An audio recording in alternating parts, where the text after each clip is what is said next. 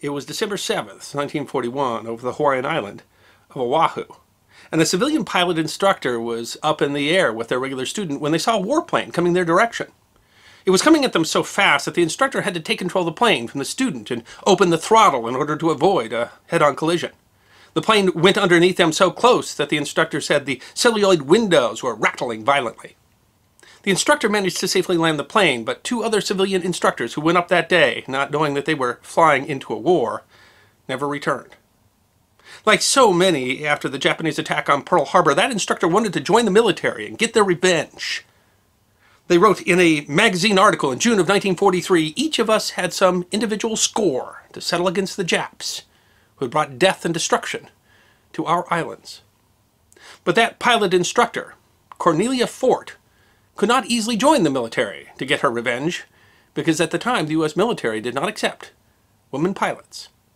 When she got her chance, she jumped at it. She said, I knew that I was going to join the Women Auxiliary Flying Squadron before the organization was a reality, before it had a name, before it was anything more than a radical idea.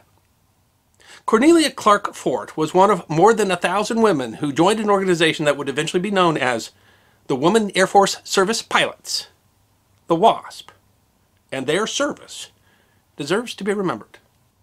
Bessie Lee Pittman was born in Florida in 1936, the youngest of five children. She married at just the age of 13. The marriage broke up after the death of their son at age 5, but she kept her married name, went by the name Jacqueline Cochran.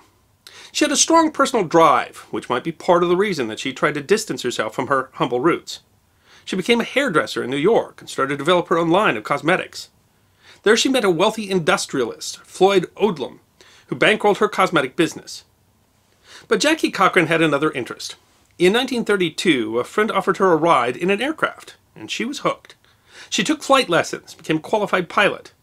She and Odlum married in 1935 and used her flying skills to help market her cosmetics under the title Wings to Beauty.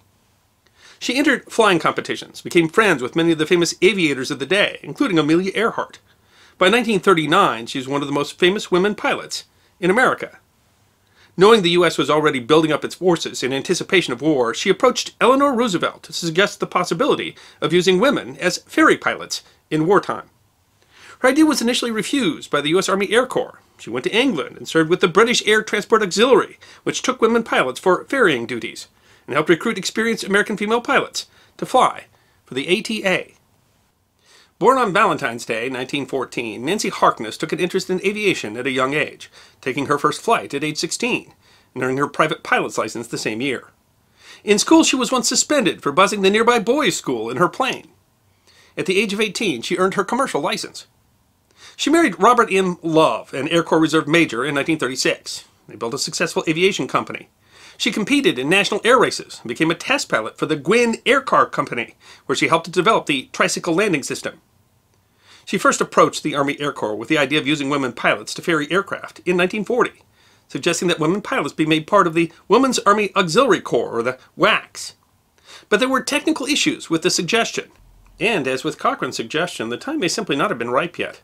As Chief of the Air Force, General Hap Arnold was quoted as saying, The use of women pilots serves no military purpose in a country which has adequate manpower at this time. But after the outbreak of war, it became clear that qualified women pilots could play a valuable role flying aircraft in non-combat duties, freeing male pilots for combat. Both Cochran and Love submitted proposals. Cochran became head of the Women's Flying Training Detachment, or WFTD, to train women pilots, while Love recruited already qualified pilots into the Women Auxiliary Ferrying Squadron, or WAFS. Among her first recruits was Cornelia Fort. She noted, we have no hopes of replacing men pilots, but we can each release a man to combat, to faster ships, to overseas work. Delivering a trainer to Texas can be as important as delivering a bomber to Africa, if you take the long view. The military seemed to agree, but only up to a point. The WASP were not soldiers. They were not officers like many who flew with the Air Transport Command. They were civilian contractors. Efforts to militarize the WASP faced not just procedural issues, but also opposition from members of Congress and the press who thought the idea of training women pilots to be a waste of resources. And while the WASP did the exact same duty as men who also served as civilian ferry pilots, the WASP were paid at two-thirds the rate of their male counterparts. The point was made dreadfully clear on March 7, 1943. Margie Sanford Oldenburg had become a flying enthusiast after meeting Amelia Earhart. She had graduated from the University of California and married a Marine ensign. According to the Oakland Tribune on February 7, 1943, she already had flight instruction at local airports and advanced training in Nevada when she left to become Berkeley's first representative to the Women Auxiliary Ferry Squadron. She went for training with Jackie Cochran's WFTD in Texas. On March 7th, she was training with a male instructor pilot, Norris Morgan, when their Fairchild PT-19 trainer failed to recover from a spin during spin training.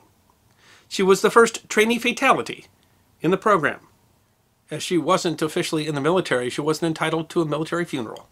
Jackie Cochran paid for her funeral out of her pocket. It was a stark reminder that the air service was dangerous, even to those who did not serve in combat. And a second reminder came just two weeks later. On March 21st, Cornelia Fort was ferrying Vultee BT-13 Valiant trainers to Dallas Love Field, along with six newly trained male pilots.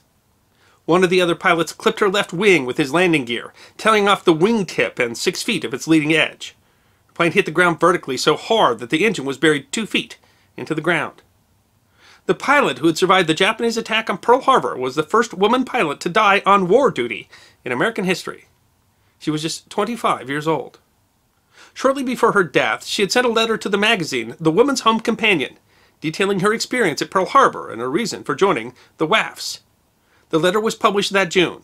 The editor wrote, Her words here will live as moving account of why one woman joined the WAFs and as a testament to all American women who are helping to keep America free. In August 1943, the WFTD and the WAFS were combined to form the Women Air Force Service Pilots, the WASP. The training was difficult. More than 25,000 women applied for the WASP, but only 1,830 were accepted into the program. Of those, only 1,074 earned their coveted silver wings. For men, it would be tough. It's tough for girls, too. Among the first set of pilots was Katherine Rawls Thompson, who was an Olympic silver medalist in diving and once been one of the world's top swimmers. Having qualified as a pilot when the 1940 Olympics were canceled due to the war, she decided to join the WASP. A WASP graduated with a commercial pilot's license and an instrument rating. They passed Army Air Force regulations and had the equivalent of a college aeronautical degree. They received essentially the same training as male Army Air Corps pilots. By graduation, WASP recruits had 560 hours of ground school and 210 hours of flight training. The WASP played a significant role in ferrying aircraft for the Air Transport Service. Over the course of the program, WASP logged 60 million miles and delivered 12,650 aircraft, representing 78 different types, to bases throughout the nation. Evelyn Sharp, who went by the name Sharpie, had grown up in Nebraska. She had made her first solo flight at just age 15, was one of the nation's first female airmail pilots, and had trained more than 350 pilots before becoming one of the first 23 women to join the WAFs, a group known as the Originals. By 1944, she was one of the most experienced of the WASP, a squadron commander who had ferried over 150 different planes of 18 different types. On April 3rd, she was ferrying a P-38 Lightning. Just one minute after takeoff, one of the plane's two engines failed. For many pilots, the remaining engine would have torqued the plane over and into the ground, but Evelyn jammed the rudder to counter the effect and turned the plane back towards the field. She pancaked the P-38 for a wheels-up landing. The plane was not badly damaged, but Evelyn's neck was broken. She was 24 years old. The airport at Ord, Nebraska is called Sharp Field in her memory. The WASP flew every type of mission any Air Force male pilot flew during World War II except combat. They took the duty many male pilots refused, serving as test and drone pilots and instrument and link instructors. They flew tracking and searchlight missions, towed gliders and targets, and delivered weapons, cargo, and personnel. It is ironic that women who were prevented from flying in combat, ostensibly to protect them, were often given dangerous tasks that male pilots were afraid to fly. Towing targets was especially dangerous, and their planes were often hit by fire. Several wasps received wounds. The planes used for towing were often poorly equipped and maintained. At Camp Davis in North Carolina, there were 14 accidents involving improperly maintained towing planes, resulting in the death of two WASP. In June 1944, the bill to give the WASP military status failed in Congress by 19 votes. By that time, the nation had gone from a pilot shortage to having more volunteers than they could train. Pilot training commissioning schools were being reduced, and some males seeking to become pilots complained that training women was preventing the training of more combat pilots. Arnold had pressed Congress to either commission the women or disband the program. Congress chose the latter. In June, the House Committee on Civil Service reported that the program had become unnecessary. The program was officially disbanded December 20th, 1944. Some women from the program offered to continue to ferry planes for essentially no pay, but were still refused. Despite their contribution, the WASP were not well known at the time or for many years thereafter. Like many military programs, the records of the WASP were classified and sealed for 35 years, and their contributions and lives are just now being discovered by historians. While the WASP were experienced pilots, many of them had difficulty finding uh, employment in aviation at the time. Civilian airlines didn't hire female pilots. They said that public opinion wouldn't allow it. In 1949, the Air Force offered commissions to the WASP, but those that accepted were put in administrative roles. They weren't allowed to be pilots. The U.S. military didn't start accepting women pilots until 1974, and then the first one wasn't even with the Air Force. It was an Army helicopter pilot. The Air Force did not start accepting women into pilot training until 1976, and they weren't accepted into fighter pilot training until 1993. In 1948, Nancy Harkness Love was made a lieutenant colonel in the Air Force Reserve. She worked tirelessly, seeking recognition for the WASP. She passed away due to cancer in 1976 at the age of 62. In 1953, Jackie Cochran piloted a Canadair Sabre borrowed from the Royal Canadian Air Force to become the first woman pilot to pilot a supersonic aircraft. She set numerous records and firsts for women pilots. She passed away in 1980 at the age of 74. In 1979, congressional legislation was finalized, so veteran status and military recognition and benefits were granted to the WASP.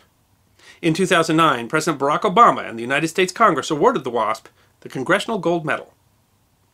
The Commemorative Air Force, an organization that was founded to acquire, restore, and preserve in flying condition a complete collection of combat aircraft, which were flown by all military services of the United States, and selected aircraft of other nations, for the education and enjoyment of present and future generations of Americans, had restored an AT-6A aircraft that was used to train WASP. The CAF tours the nation with the plane as part of their CAF Rise Above WASP program. The program's mission is to share the story of the women Air Force service pilots in order to inspire others, especially girls and young women, to rise above expectations and find a greater appreciation of their potential. In addition to serving vital wartime functions and freeing more than a thousand pilots for combat duty, the WASP has served to inspire generations of women to careers in aviation. On December 7, 1944, General Arnold spoke to the last WASP class to graduate.